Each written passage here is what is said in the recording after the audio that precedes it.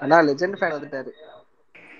Legend ஃபேனா ஏய் உனக்கு என்ன ஏய் உனக்கு என்ன இங்க வேலை? உங்க ஆபீஸ்னாச்சா உங்க ஆளு தான் ஹலோ ப்ரோ என்ன தீபாவளி சேல்ஸ் வந்துட்டியா? இன்னைக்கு ரோஹிணி தியேட்டர்ல இந்த கந்தாரா மூவியை ஒரு மணி ஷோ பார்த்தேன்.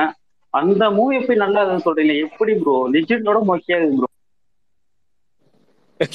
லெஜெண்டோட மொக்கையா இருக்குதா? ப்ரோ இத மட்டும் வந்து இல்ல இல்ல இத மட்டும் வந்து ரட்சித் செட்டி கேட்டாருன்னா கோடாரி எடுத்துட்டு அந்த அந்த கடைசியில வந்து அடிக்கிறதுக்கு ஒரு லவ் சீனும் நல்லா இல்ல ஒரு ஃபைட் சீனும் நல்லா இல்ல ஒரு ரொமான்ஸ் சீனும் நல்லா இல்ல ஒரு சென்டிமெண்ட் சீன் இல்ல அதை யாரும் பேச மாட்டீங்க கண் இல்ல ப்ரோ கண் எங்க பட்டக்ஸ்ல வச்சிருந்தீங்களா? கண்ணு எங்க முன்னாடி இருந்ததா பட்டக்ஸ்ல வச்சிருந்தீங்களா?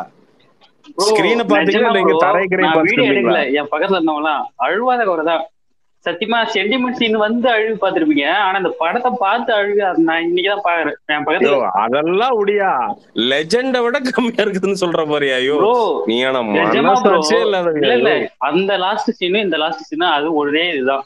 இதுல என்ன இந்த அப்பாவும் பையனும் இதுல லெஜெண்ட் லெஜெண்ட் கண்டாராவும் ஒண்ணு. ஆமா ப்ரோ இல்ல இல்ல அதுல வந்து கேட்டான்னு வச்சுக்குவேன். இல்ல அதோட ப்ரொடக்ஷன் வந்து க்ளோஸ் பண்ணி இதோட போதுண்டா சினிமான்ட்டு போயிடுவான்னு நினைக்கிறேன். அதுல. வந்து லிஜாண்ட் சார் வந்து அவன் பையனை எப்படி காப்பாத்து சார் என்ன பண்ணுவாரு? Legend. இரியா, இரியா, இரியா, லிஜ- லெஜெண்ட் சார் என்னமோ பண்ணுவாராம் என்ன என்ன பண்ணுவாரு? சொல்லு. இந்த லிஜெண்ட் மூவில அந்த பையனை கட்டுறவங்கல்ல அந்த அவன் அவனோட பையனை. அவர் காப்பாத்துறதுக்காக. அவர் எப்படி சவுண்ட் கொடுத்துருவாரு? அதே மாதிரிதான் இந்த படத்துலயும். அவன் பையன் அடிப்பட்டு யோ மன- யோ அந்த படத்தை இன்னும் ஞாபகம் வச்சிருக்கிற லெஜெண்ட எப்படி தினம் சாயங்காலம் பாப்பியா? இல்ல ப்ரோ எப்படியா? மனுஷனா இல்ல வேற ஏதாவது ஏலியனா இருப்பானோ? ரோபோட்டா இருப்பானோ ஆளுங்கள? எப்படியா தினம் தினம் லெஜெண்ட் பாப்பா நடக்குதுயா? இவன் எப்படி மனுஷ மனுஷ இதுல எப்படி எப்படி என்ன. கேட்டகரியில படம் எல்லாம் பார்த்தனா பார்த்து செகண்டே மறந்துடுவான் அது என்னமோ தெரியல. லெஜெண்ட் படம் பார்த்ததுல இருந்து மைண்டுக்குள்ள ஓடிக்கிட்டே இருக்கு என்னன்னு தெரியல. ஆமா பெரிய லவ்வர் லெஜெண்ட் படம். மைண்டுக்குள்ள ஓடிக்கிட்டே இருக்குது. இவர் தினம் வந்து உட்கார்ந்து அதுக்கு லெட்டர் எழுதிட்டு இருக்காரு. யோ மனசாட்சியே இல்லையா? யோ யோ லெஜெண்ட விட கண்டாரா கம்மியா இருக்குதுங்கிறியா. கண்ணா இல்ல அது என்ன மனசா இல்ல வேற ஏழு பாட்டு பார்த்தேன். அதுல ஏழு பாட்டும் மொக்க தான் ப்ரோ இல்ல இல்ல நான் ஒரே ஒன்று இதுல பேக் பாட்டு இல்ல இதுல பேக்ரவுண்ட் மியூசிக் மட்டும் இல்லனா இந்த படம் சத்தியமா நல்லா இருக்கு நீங்களே கெஸ் பண்ணுங்க. இந்த பேக்ரவுண்ட் மியூசிக் தான் நான் Backgroundல அந்த சவுண்ட் பேக்ரவுண்ட்ல எல்லாமே அந்த பேக்ரவுண்ட் மேக்கப் போட்டு அந்த நடி நடிச்சது அதுக்கெல்லாம் நீ பயப்படல. அப்ப அதான் இல்ல எனக்கு தெரிஞ்சு இருந்தாலும் சரக்க போட்டு போய் ஸ்பீக்கர் பக்கத்துல காதை வச்சு பரவாயில்ல. ஒரு சாங்குக்கு அழகா பண்ணாரு. ஒரு சென்டிமெண்ட் சீன் இடுப்பு கிள்ளிட்டு ஓடுறான். இது ஒரு சென்டிமெண்ட் சீன் சொல்லிட்டு நீங்க லைக் பண்ணி பாக்குறீங்க. அது சென்டிமெண்ட் சீன் இல்லையா? ரொமான்டிக் சீன் அது. சென்டிமெண்ட் சீன் அது? ப்ரோ அவரோட ட்வீட்டை வந்து செக் பண்ணி பாருங்க. ஷேர் பண்ணிருக்காங்க bro. யோ மண்ணா யோ மண்ணா லெஜெண்ட் மூவி லெஸ் தான் கண்டாரா? இப்போ வாங்கல bro. மொக்க மூவிக்கு இவ்வளவு பில்டப் பார்த்த நெக்ஸ்ட் அப்டேட் விடுங்க. நான் பார்த்த தியேட்டர்ல ஒரு ரியாக்ஷன் காணோம் இந்த படத்தை பார்த்துட்டு. எனக்கு யோ எனக்கு தெரிஞ்சியா? சரணம் வந்து ஒரு பாதி லெஜண்ட் ஸ்டோர் உன் பேர்ல எழுதி வச்சாலும் தப்பு இல்லையா இப்படி ஒரு பைத்தியாரனை வந்து வாழ்க்கையிலேயே அந்த ஆளுக்கு வந்து ஃபேனா வந்து எவனுமே இன்னும் இன்னும் ஏழையில ஜென்மத்துக்கு அமைய மாட்டாயா? இப்படி ஒரு அட்டர் பைத்தியக்காரன். யோ லெஜெண்டோட ரொமான்டிக் சீனை அது கூட கம்பேர் பண்றியா. நீ மனசாட்சி உள்ளவனா? மனசுன்னு ஒன்று இருக்கா? நீ யாரியா நீ? ஏயா? ஏயா? உனக்கு உனக்கு சரி நீ என்ன என்ன சீன் அதாவது லெஜெண்ட்ல என்ன சீன் கண்டாராவோட பயங்கரமா இருந்தது. எங்க ஒரு சீன் சொல்லு ரொம்ப ஒரு லவருக்கு ஒரு லவருக்கு ரெஸ்பெக்ட் கொடுக்க தெரியல. ரொம்ப அடிச்சு கீழே தள்ளுறான். என்ன லவ்வருக்கு ரெஸ்பெக்டா அது பவுடர் கிவுடர் பூசி இருக்க வந்து மேக்கப் போட்டா ரெஸ்பெக்ட் கொடுத்தாங்க ஏன்னா கைகால் நகர்ந்தா தானே. நடிக்கிறது கைகால் நகரணும் கைகால் நகர்ந்தா தான் லவர் கிட்ட பக்கத்துல போக முடியும். ஏதாவது தொடக்கிட முடியும். ஏதாவது பண்ண முடியும். நகர்ந்தா தான் நம்மளுக்கு. பூரந்த மாவு கட்டு மாதிரி போட்டு மேக்கப் தான் பட்டுட்டிங்கிறீங்க போட்டு நாலஞ்சு கோட்டு பெபிகால் மாதிரி போட்டு அப்பி வச்சிருக்கீங்களா அப்ப எங்க தலைவன் நகருவான்? நகர்ந்து போனா தானே ஹீரோயினை தொட முடிய வாடி வாசல் வாடின்னு மாடி அட்டை மாடு மாதிரி ஆடிட்டு இருக்காரு அப்படி. இந்த அட்டையில மாடு செஞ்சா எப்படி இருக்கும்? அந்த மாதிரி உட்காந்து டுமுக்கு டுமுக்கு நாடிட்டு இருக்காரு உங்கால அதை வச்சுட்டு நீ எங்க போய் லவர் தொடுவ நீ சிட்டி ராபாட் மாதிரி. ஏயா அவன் வந்து மனுஷனா நினைச்சிருக்கிறான் கண்டாரால அவன் போய் வந்து இடுப்ப கிள்றான் அவன் லவ்வர் அது. அந்த பொண்ணுக்கு பிடிச்சிருக்குது. அவன் இடுப்பு கிள்ளுவான். என்ன வேணா பண்ணுவோம் ஓ உனக்கு இடுப்பு கிள்றதா பிரச்சனையா போச்சா? என்ன எங்கால் கிள்ளு? போய் கிள்ளிட்டு இருக்கான்னு. இல்ல ப்ரோ. லிஜெண்ட் மூவில இருக்கிற ஃபைட் சீன் கூட இதை எனக்கு எடுப்படல ப்ரோ அந்த மக்கா. ஏன்டா? லெஜெண்ட்ல என்னையா அப்படி ஃபைட் சீன் பண்ண இருந்தாலே நீ சொல்லியா? ப்ரோ யோ நான் மண்ணா முதல் சாட்சி முதல்ல- இல்லாத ஐயோ நீ ஆனா நீயோ அப்படி என்னையும் அவனுக்கு நீ ஃபைட் பார்த்த நீ லெஜெண்ட்ல அதை சொல்றியா? சொல்லியா நீ? ப்ரோ ப்ரோ Bro, டூப் போடாம எல்லாம் இவரே நடிச்சிட்டாரு ப்ரோ அதான் ப்ரோ இது நல்லா இல்ல. லெஜெண்ட்ல நல்லா இருக்கு? அதான் அவர் சொல்ல வர்றாரு. ஆமா. லெஜெண்ட்ல பூரா விக்கு விக்கு விக்க கமுத்திட்டு அந்த சின்ன பையன் ஒருத்தனை கூப்பிட்டு அவன் தான் பல்ட்டி அது எடுத்திருந்தான் பிறப்பிலே வந்து ப்ரோ விக்கல ப்ரோ இப்ப போய் பார்த்தா கூட அது அப்படியேதான் இருக்கும். ஆமா ஆமா ஆமா பிறவியிலேயே அவர் வந்து கர்ண கவசகுண்டலத்தோட பிறந்த மாதிரி உங்களால விக்கோட பிறந்தான். அதுங்காட்டிக்கு வந்து டேய் இத- இதெல்லாம் வந்து ரொம்ப ஜாஸ்தி பார்த்துக்க. பிறவியிலேயே விக்கோட பிறந்தாரு அவரு? அது பரவாயில்லையா? அது ஏன் முத மாடியில் இருக்குது. தலையில இருந்து ஃபர்ஸ்ட் ஃப்ளோருக்கு போயிருது.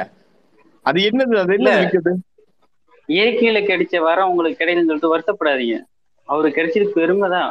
இப்ப இருக்கிற ஆக்டருக்கு எல்லாம் சொட்ட ஒரு வகையில அவரு மட்டும் இந்த வயசுலயே அவர் நல்லா மூடி வச்சுட்டார்ல. மூடி மூடிதான் வச்சிருக்கிறாரு. முடி வைக்கல. நல்ல. முடி மூடி மேல விக்க வச்சிருக்காரு.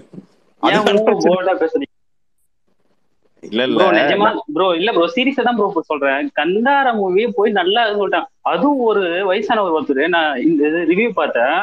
அந்த லாஸ்ட் சீனை பார்த்துட்டு மணிரத்னத்தை போய் திட்டுறாரு ப்ரோ அவரு. எனக்கு கடுப்பாயிட்டு அதனாலே மேனக்கு போயிட்டு நான் ரோஹிணி தேட்டர் போய் பார்த்துட்டு வரேன்.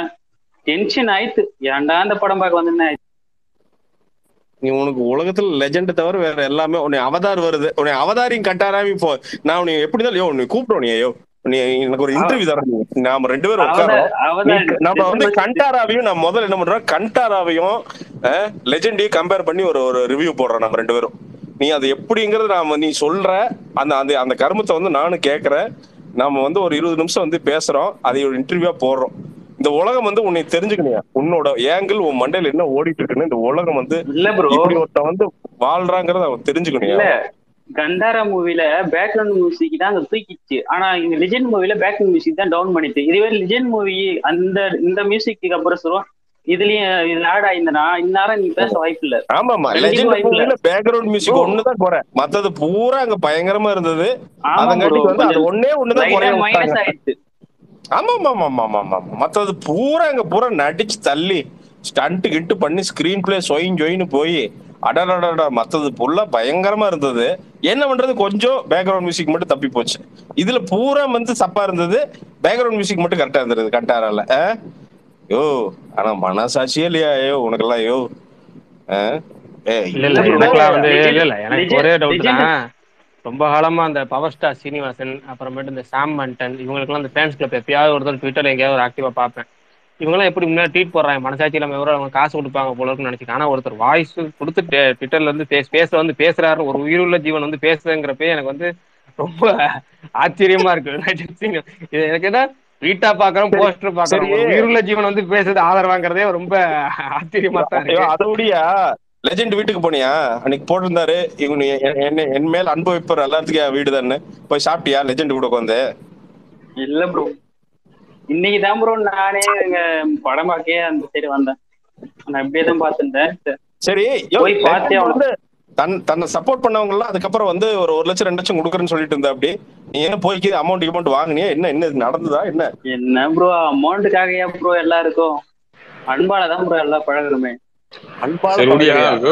யோ என்ன அடுத்த அடுத்த படம் என்ன? ரொமான்டிக் படமா? சரி உங்களால அடுத்த தீபாவளிக்கு. அனௌன்ஸ்மெண்ட் வரும் போல தீபாவளிக்கு அனௌன்ஸ்மெண்ட் வரும் போல. அப்பா இது என்னது? வெள்ளை கோட்டிங் ரொம்ப ஜாஸ்தியா இருக்குது. இது என்ன புது ஷேடா இருக்குது வெள்ளையே? உங்களுது ப்ரோ இல்ல ப்ரோ இது இய- இயற்கை அழகு ப்ரோ உங்களுக்கு தாடி இல்ல இல்ல. உங்களுக்கு தாடி இருக்கிறதுனால அப்படி நீ வருத்தப்படாதீங்க. அவர் சாக்லேட் பயா இருக்கிறதுனால நீங்க பொறாமப்படுறீங்க. அது மட்டும் தெரிகிறது. ஆமா பகடு கீழே அது என்னது? சுத்தி வச்சு அடிச்சிருப்பாங்களாட்டு கொஞ்சம் எல்லாம் நீளம் நீளமாயிடுது. என்னது? ப்ரோ அவரு வர வர ரொம்ப சின்ன பையனா ஆனதுனால சில பேருக்கு பொறுக்க முடியல. பார்த்து ரொம்ப ரொம்ப ஆகி குழந்தைய ஏற போறாரு சத்யராஜ் படம் மாதிரி. என்ன? அப்புறம் எங்க சைல்டு ஆர்டிஸ்டா கூப்பிட போறாங்க. ரொம்ப குழந்தையா ஏற போறாரு. பார்த்து வச்சுக்கோங்க எதுக்கும். டேய் சின்ன பையனாகிறாராடா டேய். சரியா? அடுத்தது என்ன? என்ன என்ன ஜானரு? என்ன பட்ஜெட் அடுத்து என்ன என்னென்ன டூர் போக போறாரு? எங்க எந்தெந்த நடிகை? ஐஸ்வர்யா ராயா? தீபிகா படுகோனா? யாரு?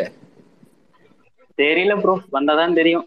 அதுல இந்த அகில இந்திய லிஜெண்ட் சரவணன் ஃபேன் ஒருத்தர் அவர்கிட்ட கேட்டேன். அகில இந்திய லெஜெண்ட் சரவண ஃபேனா இந்திய அகில இந்தியாலே அவன் ஒருத்தன் தான் ஃபேனா ஓ உனக்கு மேல ஒருத்தர் இருக்கானா? ஐயோ மா ஐயோ, இது பயங்கரமான ஒரு புதகொலியாட்டு இருக்குதே கார்த்தி காலை விட்டோம்னா அவ்வளவுதான். உள்ள போய் நம்மளை அரிச்சு தின்னுவோடுன்னு நினைக்கிறேன். சரி அவர் என்ன சொன்னாரு? கேட்டது ஐயோ சரி. அகில இந்திய லெஜெண்ட் ஃபேன் தலைவன் நீ வந்து தொண்டனா? இது எப்படி இது? எப்படி இது ஐரார்கி எத்தனை பேர் மெம்பர்ஸ் இல்ல bro, இருக்கிறீங்க? இல்ல ப்ரோ நான் சாதாரண ஒரு ந- நண்பனாகவும் ஒரு ஒரு ஒரு இப்படி தலைமையின் ஊன்று ஊன்றுகோலாகவும் தான் ப்ரோ நான் இருக்கிறேன். மத்தபடி எந்த ஒரு ஊன்றுகோலா? தம்பிக்கு தலைமையின் ஊன்றுகோல்? ஊன்றுகோல தலைமையின் ஊன்றுகோல தம்பின்னு தப்பு தப்பு எங்கெங்கயோ போகுது தம்பிக்கு ஊன்றுகோலா என்னடா இது கருமன். எங்க போய் ஊன்ற நீ? தலைமைய? தலைமை என்ன ஊன்ற? என்ன தலைமை என்னமோ ஒரு இருபது லட்சம் பேர் ஃபேன்ஸ் இருக்கிற மாதிரியே ஒரு பில்டப் கொடுத்துட்டு இருக்கிறீங்க நீ அவன் தலைவன் நீ செயலாளர். அவ்வளவுதானே? மெம்பரே கிடையாது இல்லையா? முத்துன கத்திரிக்காய் படத்துல வர சுந்தர்ச்சி காட்சி மாதிரி. சுந்தர்ச்சி தலைவன் சதீஷ் தொண்டை யோ எப்படியா நீ சிரிக்காம பேசுற? இவ்வளவு சீரியஸா எனக்கு சொல்லியா நீங்க. இல்ல இல்ல எங்க எங்க தலைவன் நடிக்கிறதுனால என்ன ப்ரோ அடுத்த மூவிக்கு நான் இதுதான் அப்டேட் வெயிட் பண்றேன். கந்தார மூவி கந்தார மூவி நல்லா அது- இருக்குது நல்லா சொன்னீங்க. நீ அதை விடு. என்ன எப்ப நீங்க ஓடிடி வர போறீங்க? இங்கெல்லாம் உட்கார்ந்து எல்லாம் பழைய ஒரு நல்ல சவுண்டோட நீ வேற பிஜிஎம் சரியில்லைங்கிற நீ அரிஜாரஜிட்ட சொல்லி சரி பண்ணிடுறியா? ஓடிடி வர்றதுக்குள்ள? இல்ல ப்ரோ உண்மையாவே ப்ரோ இந்த கந்தார மூவில பேக்ரவுண்ட் மியூசிக் தனியா எடுத்து பார்க்கலாம் அந்த மூவிய பேட்மேன் மியூசிக் துளி கூட பிடிக்காது. ஆமா ப்ரோ அந்த பேக்ரவுண்ட்? மியூசிக் மட்டும் எடுத்து அதை மட்டும் எடுத்து அந்த மூவி பார்க்கலாம் சுத்தம் பிடிக்காது அந்த படத்தை. ஆனா நீங்க இப்படி மட்டும் கொடுக்குறீங்க. ஆனா எங்க லெஜெண்ட் சார் நடிச்ச படத்தை மட்டும் இப்படி டிமோட்டிவேட் பண்றீங்க. எங்க மோட்டிவேட் பண்ணாங்க? நீ இப்ப வாண்டடா வந்த. நாங்க சிவனே நாங்க வேற ஏதோ பேசிட்டு இருந்தோம் இப்ப இல்ல ப்ரோ இப்ப இல்ல. முத சொல்றேன். அதை சொன்னதான் சொல்றேன். கந்தாரம் லெஜெண்ட் சார் மோட்டிவேட் பண்ணியிருந்தா மட்டும் லெஜெண்ட் சார் நூறு ரூபா நூறு கோடி ரூபா ஷேர் பண்ணி பொன்னியின் செல்வன் தாண்டி இருப்பாரு காந்தார மூவிக்கு அதுக்கு சப்போர்ட் பண்ணீங்க. அதுவும் அதர் ஸ்டேட்டுக்கு நம்ம தமிழ்நாட்டுல இருந்து இவர் மண்ணின் மைந்த. பெரிய சிவாஜி. இவருதான் வந்து பூரா இப்படி நடந்தோடனே ரோடு ஃபுல்லா அப்படியே மாறி கொச்ச கொச்ச கொச்சான்னு வந்துருச்சு. ஆ, இல்ல இந்த படம் ரிலீஸ் ஆனதுக்கு அதர் ஸ்டேட்ல இருந்து நல்லா ட்ரோல் பண்றாங்க. ஏன்டா தமிழ் ஃபேனா இருக்குங்கிற மாதிரி இருக்கு. இவர் என்னன்னா? அதர் ஸ்டேட் ஒரு ஒரு மாசம் அவனவன் வந்து பாத்தீங்கன்னா முக்காடு போட்டு சுத்திட்டு இருந்தோம் இப்படி ஒரு படம் ரிலீஸ் ஆயிருக்குது அப்படின்ட்டு. இந்த ஆள் போய் எல்லா பக்கம் ரிலீஸ் பண்ணி அவனுக்கு துப்பு துப்புன்னு துப்புனானுங்க. வாயில துப்புல. வேற எதுலயோ துப்புனானுங்க அவனுங்க. ஏன்டா இது ஒரு படமாடா? இல்ல. நீங்க ஓடிடில வந்த அப்புறம் நீங்க நான் நினைக்காம. துப்பிடுவாங்க அதர் ஸ்டேட்ல இருக்கிறவங்க கூட இவ்வளவு தூரம் ட்ரோல் பண்ணல. எங்க நம்ம தமிழ்நாட்டுல இருந்து இந்த மாதிரி ஆள்லாம் வளர்ந்துருவாங்களோ அந்த பொறாமையில அந்த பொறாமையில தான் நீங்க இவ்வளவு தூரம் பேசுறீங்க தவிர மத்த ஸ்டேட்ல கூட மாலை போட்டு பால். ஊத்தி அதர் ஸ்டேட்ல இருக்கிற பூரா தேட்டருக்குள்ள பட்டாசு வெடிச்சு படுத்துட்டு இருந்தானுங்க. அதர் ஸ்டேட்ல எவனுமே இல்ல. அந்த ஆய கூட்டாய நாலு நாலு ஆய பாத்துருக்கு பாத்துச்சாமா அதுலயும் ரெண்டு உடம்பு சரியில்லாம போயிட்டுதாம்மா. அவ்வளவுதான் அதர் ஸ்டேட்ல நடந்தது. வேற ஒரு இதுவுமே நடக்கல. அது என்னையா நீங்க கேரளால இப்படி இருந்த ஓமன பெண்கள்லாம் நாலு பேர் செட் பண்ணி வச்சிருக்கீங்க வெளியில? எவனுமே வரலைன்னு ஓமன பெண்களை செட் பண்ணி போறானே தலைவன்? இது இதெல்லாம் பண்ணியே ஆகணுமா நான் கேக்குறேன். ஹிந்தியில பண்ணியே ஆகணுமா? ஹிந்தியா தெலுங்கா மலையாளமே தெரியாத மொழியே தெரியாத நம்மால அங்க போய் பண்ணியே ஆகணுமா உறுதியா? ஹைதராபாத்ல இல்ல இல்ல இல்ல. ஒரு புக்ல வெறும் எழுத்தா இருந்தா உங்களுக்கு பிடிக்காது.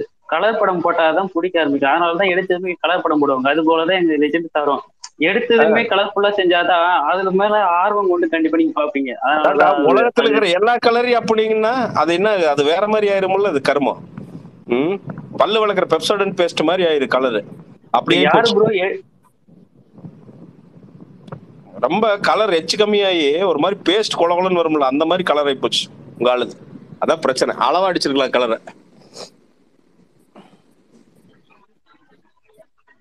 நீங்க பாத்தீங்களா ப்ரோ காந்தார மூவி போயிட்டாரு. லெஜெண்ட் ஃபேன் உங்களுக்கு பொன்னியின் செல்வனோட கம்பேர் பண்ணும்போது லெஜெண்ட் எப்படி இருந்துச்சு? இல்ல இல்ல அது கூட கம்பேர் பண்ண ப்ரோ இல்ல ப்ரோ அவரும் டைரக்டர் அவர் ரெண்டு மூணு படத்துல நடிச்சாரு. அவர் இவ்வளவு கேவலமா நடிச்சாரு. ஒருத்தவங்க கூட இப்படி மொக்கையா நடிச்சாரு யாரும் சொல்ல மாட்டாங்க. ஆனா இங்க லெஜெண்ட் சார் பரவாயில்ல. ஃபர்ஸ்ட் மூவில ஏதோ பரவாயில்ல தேர்த்தி தேடுற மாதிரி நடிச்சாரு. அதை யாரும் பேச நான் சொல்றேன். ஆனா கந்தார மூவி நல்லா இருக்குது நல்லா நல்லா இருக்குது உண்மையை சொல்லுங்க அந்த பேக்ரவுண்ட் மியூசிக்ல நீங்க பேசவே மாட்டீங்க.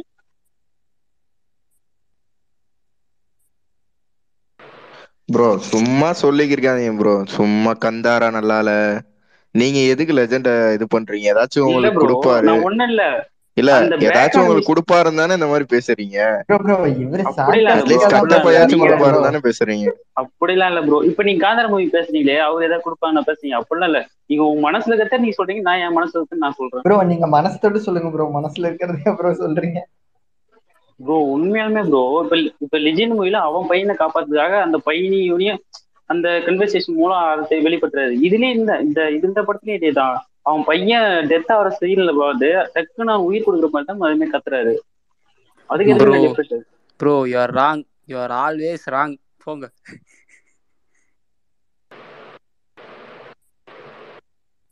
ஓ இது லெஜண்ட் எப்போ வரும் ஓடிடில? உங்கால் வித்தாரு இல்லையா?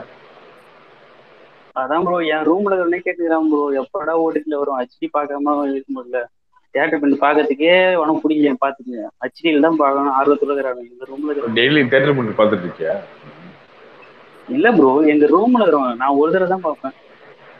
தேட்டர்ல எத்தனை டைம் பார்த்தீங்க பார்த்ததே எனக்கு இன்னும் மைண்டுக்குள்ள இருக்குது.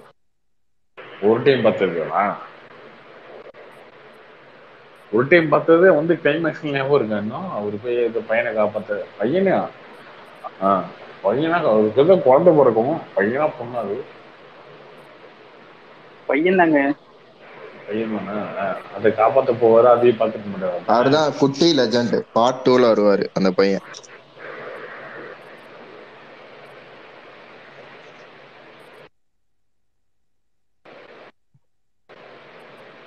கார்த்திக் ப்ரோ கோல்டுக்கு அப்புறம் அடுத்து என்ன தமிழ் படம் ப்ரோ ஒர்க் பண்றீங்க. என்ன ப்ரோ